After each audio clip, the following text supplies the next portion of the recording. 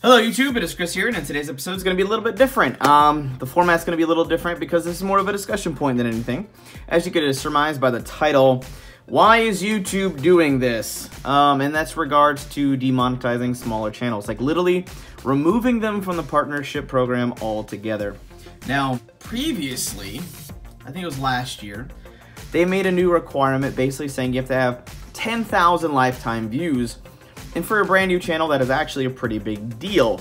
That is a pretty large milestone in the very, very beginning. It takes years, in most cases, to get to a point where you can start getting those kind of views per day, per week, per month. It takes a while. So in a 12 month period, when you're first trying to get your name out there, you're just enjoying the hobby, you're just doing it to do it, it can take a long time.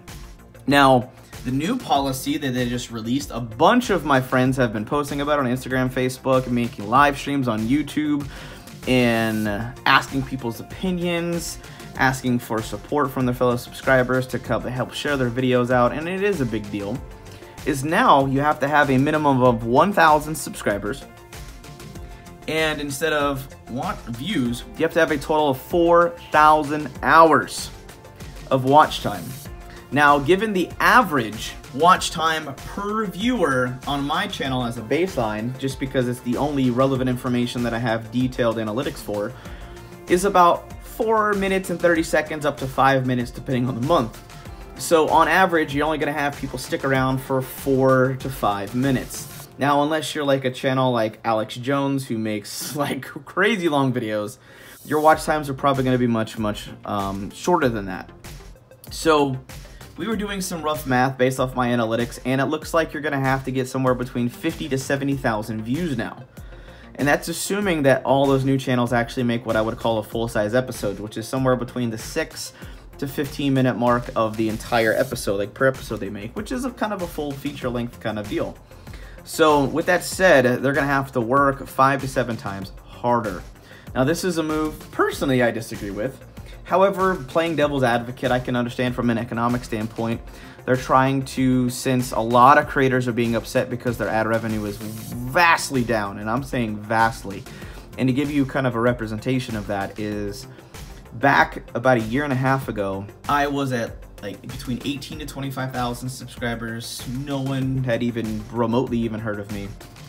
Barely anybody has heard of me now still. But with that said, I was getting a lot more money from YouTube. And it still wasn't enough to live off of. Um, even to this day, my wife and I still have normal, regular jobs, and we do this uh, part time because mostly we love it. But we want to share our outdoor skills, become better, and share what we learn as we learn it. So this is kind of a campaign a labor of love that we're going to continue to do until we're blue in the face or YouTube's gone. It doesn't really matter, but it's something we truly, truly, truly enjoy. Now, speaking further into that, now we have higher view counts much higher view counts. Our watch times are pretty darn significant compared to what they were about a year and a half ago. We have people watching longer. We have more people sharing. We have more subscribers per day. We have more likes. We have more everything than we used to, like vastly more everything. And we actually make about, depending on the month, it really depends on the month, but on average between 40 to 60% less than we did back then, which is absolutely ridiculous. And it kind of is mind blowing. But like I said, since we have full-time jobs to pay the bills, for us personally, it doesn't really realistically affect us as a whole. So since this isn't a full-time income for us at this point, and like I said, to be totally transparent with you guys, we get a half a million views on average per month. And we are thankful for every single freaking one. Without you guys, we would be absolutely nothing. So that's why we do things like our episodal giveaways. We try to do anything we can to give back, not just in fun, entertaining, and relevant information, but we also try to have some fun and give back to you guys for just making everything we do 100% possible. Ask you guys is what do you guys think about this new move for people who have no channels whatsoever and you're purely watching from a viewer standpoint? How, how, what do you think about this when regarding to channels that you may follow who fall under the criteria of being less than a thousand subscribers? Anything like that. I know plenty of people follow channels from all various sizes, whether in the millions, they have the hundreds of thousands, they have tens of thousands or less. So for me, I think this vastly de-incentivizes a lot of channels from even starting, keep going. I think a lot of, you're gonna see tens upon tens of thousands of channels in the next few weeks to months just quit altogether. Some of them are going to try to push forward, and if they don't make it and they just get that notice that they haven't met those qualifications, we may see another exodus of people just leaving. And I think this is the biggest crack in the foundation of YouTube that I've ever seen. And this still would be a very expensive endeavor given the fact that Google and YouTube are the largest search engines on the web. This gives rise to a very strong platform to come on and kind of rival YouTube for the very first time. And they would have to backpedal pretty hard to make those changes. And it would take a very significant outcry from the YouTube community as a whole, messing with the overall timeline and baseline of how they're doing this. Like I said, this is something I personally disagree with because I know how hard it is to get your start on YouTube.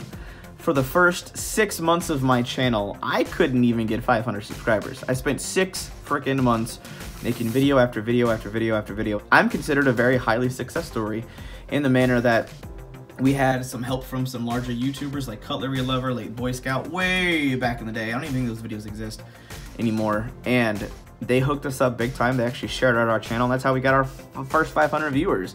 Um, we, we were we weren't even a tadpole in the middle of a pond that just happened to come up because of rain.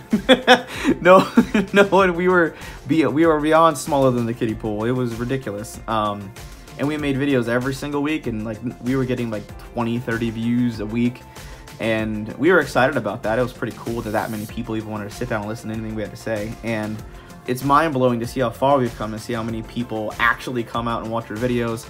It's a truly a huge blessing, but what really breaks my heart is the fact that a lot of people that were in the same boat I was in as little as last year in the year before that, um, they're going to have even harder of a time to just make their way on YouTube and make anything happen. So if you have any small creators that are out there, definitely do what you can to try to go subscribe to them. Just check them out. Just search different genres you're interested in and find those small creators and see if there's any of them out there who just happen to have this interesting way of presenting the information and see if it's someone you want to, you know, help support even by liking, sharing, and subscribing to videos, watching the videos all the way through, all that good stuff. And as far as I know, right as of like today, all the creators who are going to be basically booted uh, without meeting that 4,000 hour watch time criteria have 30 days to try to meet that criteria in a 12 month period.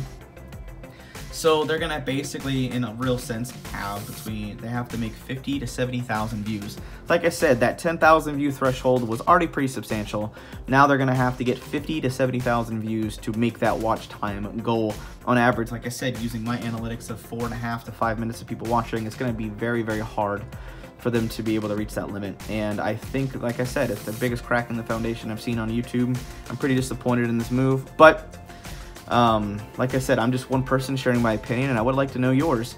How do you guys feel about how YouTube is um, reacting to the small creators out there and the really small creators? And who's to say later on down the road, like next year when they make a big policy change, are they going to cut it off where you have to have 5,000 subscribers and 12,000 hours of watch time? Who's to say that they're not going to make those changes later on down the road? But um, and that's probably one of the scariest things we're looking for is the fact that they're going to be having stricter and stricter criteria just to be a part of the YouTube partner program anymore. But um, that's just about us, guys. Hope you guys having a wonderful day. Hope you guys enjoy our regularly scheduled episodes. Hope you guys enjoyed the blacksmithing episode that just released earlier today. And stay tuned for some awesome giveaways and some awesome, awesome episodes that we have coming up. Uh, like I said, we still do this part time, but we're going to keep churning away and having some fun and sharing what we learn as we learn it with you guys. So, I love you guys. I'm out.